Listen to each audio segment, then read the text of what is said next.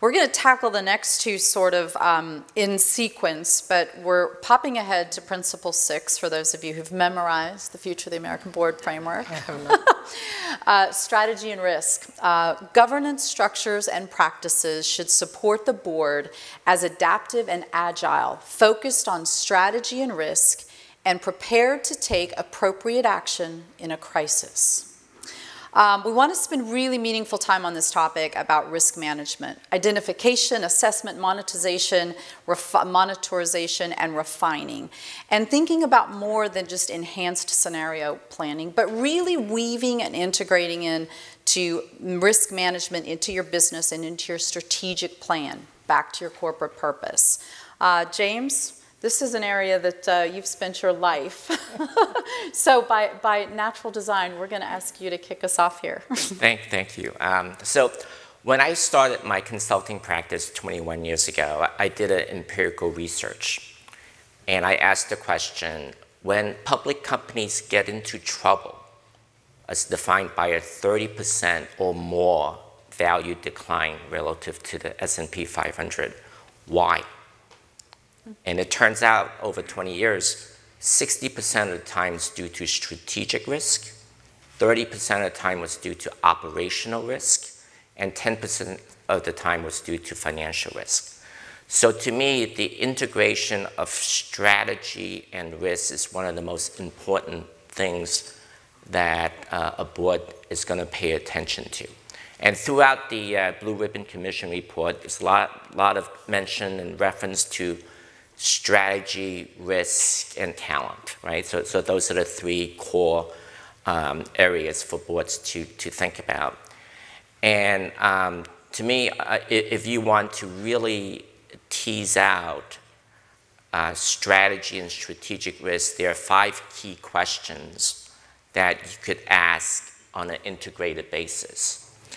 So the first thing to consider is any risk is a bell curve. And it might have different shapes and sizes, right? There's an expected performance. There's some underlying risk that could drive performance for the better or worse.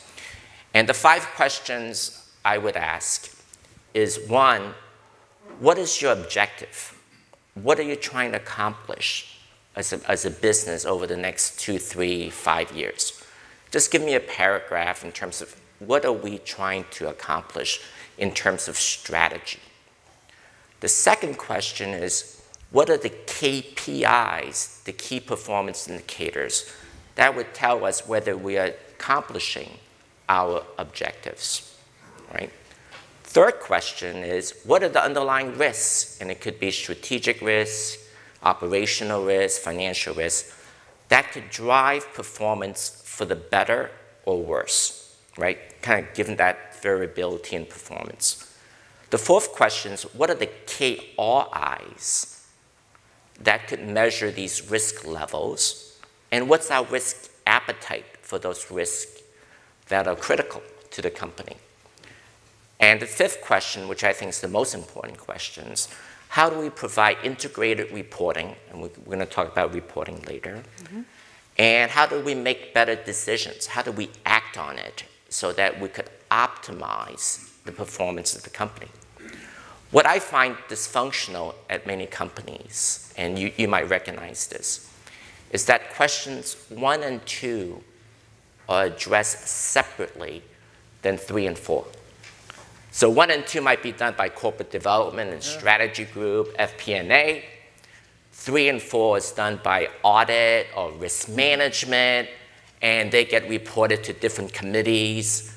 And now you just separated strategy and risk. That doesn't make sense. You've dissected the bell curve. So it's really important to integrate those five questions. And I would um, you know, ask you to consider you know, asking that, those questions for the corporate strategy, or it could be a business strategy, or it could be a digital strategy. And for you to have those um, questions answered on an integrated basis and have good content, I think it goes a long way in integrating strategy and risk management. Nora?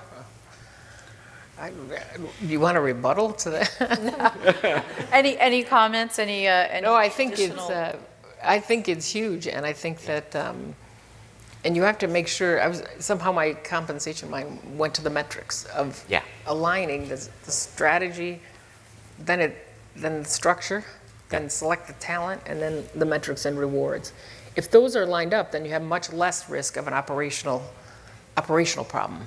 Yeah. So I think, um, then I, I was really pained by, we have that same problem on two of my boards where the top two are done by the other two, so. Yeah, yeah. And I think that. I think metrics is so important. Yeah, yeah, because KPIs are lagging indicators. Right. You really can't control them.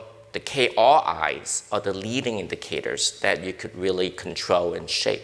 I'll give you a simple example, right? So, you know, it's beginning of the year, right? People make New Year, New Year resolutions. One of the most common ones, get in shape.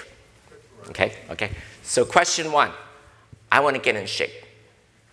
Question two, how do you measure that? Well, maybe BMI, the body mass index. I, I want to be within that range.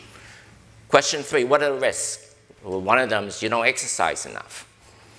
What is, what's one KRI? Well, how much you exercise. I want to work out most days for at least 30 minutes to an hour. And number five, what are you going to do? I'm going to track my metrics. I'm going to work out with a personal trainer. Well, number two, the, K, the, the body mass index, you can't control it. You could wish it's going to be a certain range. You can't do anything about it. Question four, you could get up and go to the gym. And same thing as a business. If you're just measuring performance as a board, there's really very little you could discuss or decide on, right? So I think that's why it's really so you're telling me I should measure your activity? S- Instead of an outcome-based, I should say, how many times you went to the gym? You want both. Oh, That's the feedback loop, right? You can't just do one without the other. Okay. So activity doesn't mean results. Right? You want right. both. You really want both, and that's Okay. that's a feedback loop. Okay, excellent. Build on that and tell us what the risks are. How would you identify, assess, monitor the risks to that strategic goal of a better BMI, which isn't the right goal, right? Yeah, I, I think it's really what are you trying to accomplish? What, what are your performance metrics? Whether it's earnings, uh, value, or some you know ESG goal that you want, and, and then you could say, well, what are the underlying drivers for those risks in terms of making things for the better or worse? And one of the problems that I see also is how people define risk, right? We, we talked about, you know, at one of your organizations, you know, some people, and I see this in many places, is, is defined as compliance, right? Or it could be defined as some, some loss that we don't want or some negative events. Well, if you define risk as some loss and negative events, what's the logical extension of that? We want to minimize it. We want to minimize risk. Well, that's not true. You don't want to minimize all risk because certain risks allow you to meet your business objective, allow you to pursue opportunity. So risk can't be defined simply as the negative, but are the underlying drivers that could make performance better or worse. Some are internal, some are external, some are controllable, and some are not. But you really have to identify them and, and then measure them. Yep. Uh, What I was sharing with James, he's referring to here uh, in, a, in a previous conversation, I said to him, I, I frequently see my boards focusing a lot and reporting to the board, the management team reports to the board about their success in compliance. They show me all the grades they got from the investigations and they show me how they've filed all their reports on time and they've met all their uh, air quality restrictions or, or whatever they do in their operations. And, and we all sit there and say, okay, whew, we've managed risk. That is simply compliance. That is your license to do business, right? That has nothing to do with the risks of doing your business and the metrics that, that James is talking about. And I think it's important for us at the board to have clarity between compliance and risks. And I think you have to be you have to just ask the hard questions and say, okay, thank you so much for this wonderful discussion on compliance. It's an important part of measuring how we do business and our license to do business. Now tell me about what gets us to making our strategy or missing our strategic Right. goals. So I, I think it's really important, the clarifying point there. Um, let's talk a little bit about scenario analysis. That's you. So um, I was on the Blue Ribbon Commission report on disruptive risk Yes. with, with Nora. So one of the recommendations is to do scenario analysis. And I think the disruptive risk that we all face today, when, like the pandemic, geopolitical conflicts, climate change, we don't have a lot of data. We don't have a lot of models. We, we can't look backwards and say, how do we manage these disruptive risks? So it's really important to think about scenario analysis. And I'll give you a very specific example. Um, there was a healthcare supply chain company, and I've never had this experience before. They hired me to do ERM. They hired McKinsey to do strategy and told us about it after the fact and say, we want you to work together on scenario analysis, right? So, so, um, so the strategy part provides the outside in. So first step is, you know, what, what's the competitive position of the company, what's happening in the marketplace, outside in. The risk part's the inside out. So how would these things impact our earnings, our value, our cash flows, and our business uh, objectives? Then developing a set of scenarios, right? Um, McKinsey likes three, other companies go up to 10, but you might start with 10 and then narrow it down to three. What I think is really important is to have positive and negative scenarios. So one question could be, what scenario would increase our market value 10x in the next three to five years? On the other hand, what scenario would bankrupt the company? And, and, and consider, consider that, right? So, so then you have a set of scenarios. Uh, very importantly, some early warning indicators that said this, these scenarios are happening. And then also some action triggers and strategies in reacting and responding to how things are changing and making sure that these metrics, the market intelligence, the scenarios are part of the board reporting and dashboards. So it's not just an annual exercise, but it becomes part of the, the board agenda. Okay. We're going to build on strategy and risk with a really important how component. And what I mean by this is if principle six, which is around strategy and risk, is the what, we want to talk a little bit about the how, right? You need to be able to go back to the boardroom with the tools to kind of start the execution on your oversight of strategy and risk. And for us, that really comes in principle four, agenda and information. So let me read you that, uh, that principle. Governance structures and practices should be designed to support the board in determining its own priorities, agendas, information needs, and to assist the board on focusing on priority issues. Um, both of you are passionate about this one. Used to, no. You- Well, of the 10 principles, I would say this one is probably the least sexy, right? Agenda and, and information. Information, yeah. Right? But, but to me, it, it's probably one of the most important. Uh, one is because it shapes how the board spends its time, its valuable time. And two, is the kind of information that is going to be provided to the board. And I'm a strong believer that the quality of information, the reports, the metrics that go to the board, has a big influence on the quality of oversight, decision making, and discussions, right? And so I'm going to give you three key takeaways. One was the five questions, and this one is is what I've seen in terms of information that goes to the board. And um, just a little bit of warning. I I, uh, I was I grew up in Brooklyn. So I, I talk straight. This is the part where I'm going to take off my gloves. And, and it's, Grab your pencils, And, and, and it's really frustrating. And I, I I would ask you if you, you recognize this. So I have three golden rules in terms of board information and reporting, and, and the boards that I serve on, and also the clients that I work with. First is don't do stupid. Two is don't do lazy. And three is don't do boring. Okay? So let me start with don't do stupid.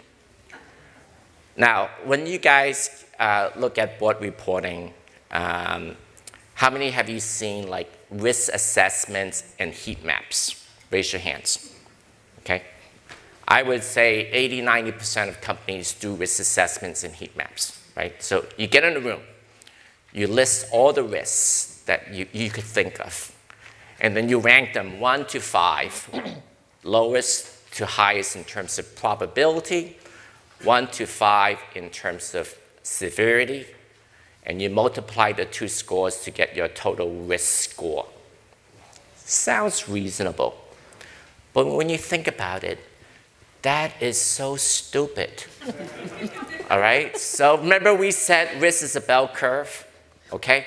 A bell curve is a vector of probabilities and severities. Think about oil prices, right? Gas prices, energy prices. There's a small probability that prices will go up a lot or you know, both ways, right? Go up or down a lot. And there's high probability there's going to be small changes.